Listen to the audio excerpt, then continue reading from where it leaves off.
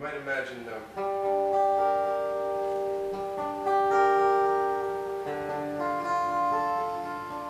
you might imagine something that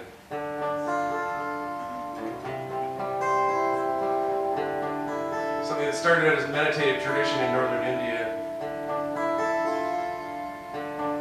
made its way across the uh, made its way across the Himalayas through the trade routes and became a cultural pastime for horsemen. And of course, through the magic of the internet, it all ends up on YouTube, doesn't it?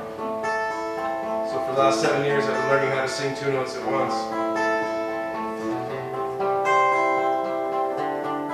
So this song was originally put together by a guy whose uh, whose band is effectively uh, the Rolling Stones of the Western Mongolian region of Tuva.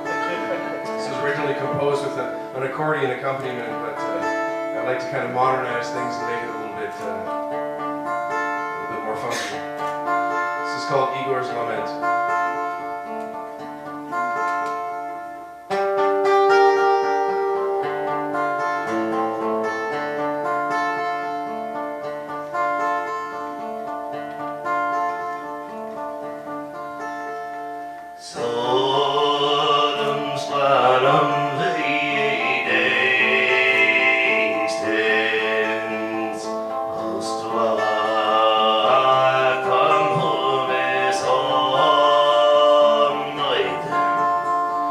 从